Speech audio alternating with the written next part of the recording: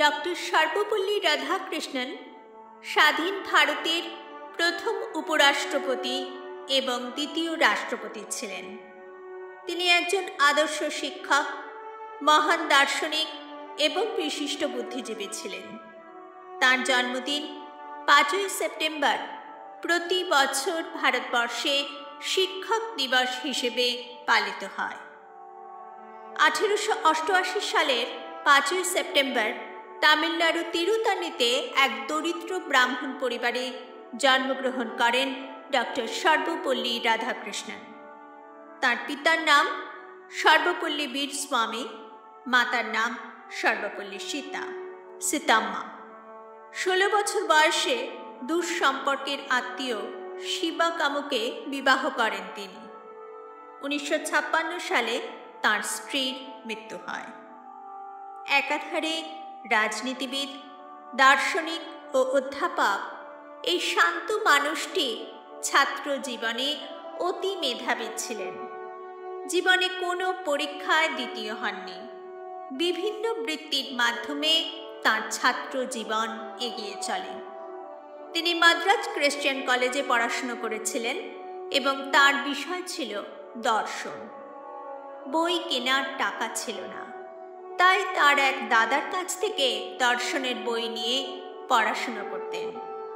উনিশশো পাঁচ সালে তিনি মাদ্রাজ ক্রিশ্চিয়ান কলেজ থেকে দর্শনে স্নাতকোত্তর ডিগ্রি লাভ করেন। তার বিষয়টি ছিল বেদান্ত দর্শনের বিমূর্ত পূর্বকল্পনা the ethics of the Vedanta and its metaphysical presuppositions কুড়ি বছর বয়সে বেদান্ত দর্শনের ওপর তাঁর গবেষণা প্রকাশিত হয়। যার জন্য তার প্রফেসর ডক্টর এ জি হক অত্যন্ত প্রশংসা করেছিলেন। বিশ্বের দরবারে তিনি অতি জনপ্রিয় দার্শনিক অধ্যাপক হিসেবে পরিচিত ছিলেন। উনিশশো একত্রিশ সালে তাকে ব্রিটিশ নাইটহুডে সম্মানিত করা হয়। উনিশশো চুয়ান্নতে তিনি ভারতরত্ন উপাধি পান। প্রথম জীবনে তিনি মাইসোর বিশ্ববিদ্যালয়ের অধ্যাপনা করেন। এ সময় তিনি বিভিন্ন উল্লেখযোগ্য পত্রিকায় লিখতেন। সেই সময় তিনি লেখেন তার প্রথম গ্রন্থ, the philosophy of Rabindranath Tagore তৃতীয় গ্রন্থ, the reign of religion in contemporary philosophy প্রকাশিত হয় উনিশশো কুড়ি সালে। ছাত্রছাত্রীদের কাছে অসম্ভব জনপ্রিয় ছিলেন তিনি।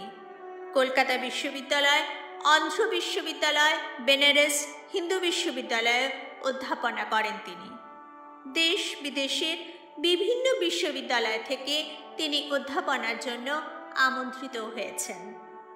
উনিশশো সালে তিনি উপরাষ্ট্রপতি হন। কিন্তু তার আগে উনিশশো ছেচল্লিশ সালে ইউনেস্কো দূত হয়েছিলেন তিনি। এরপর সোভিয়েত ইউনিয়নেও ভারতের দূতও ছিলেন তিনি।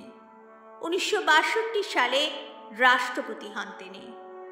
রাষ্ট্রপতি হওয়ার পর তার গুণমুগ্ধ ছাত্র ও বন্ধুরা তার জন্মদিন পালন করতে চাইলে তিনি বলেন, জন্মদিনের পরিবর্তে পাঁচই সেপ্টেম্বর যদি শিক্ষক দিবস উদযাপিত হয়, তবে আমি বিশেষ রূপে অনুগ্রহ লাভ করব। সেই থেকে প্রতি বছর পাঁচই সেপ্টেম্বর ভারতবর্ষে শিক্ষক দিবস হিসেবে পালন করা শুরু হয়।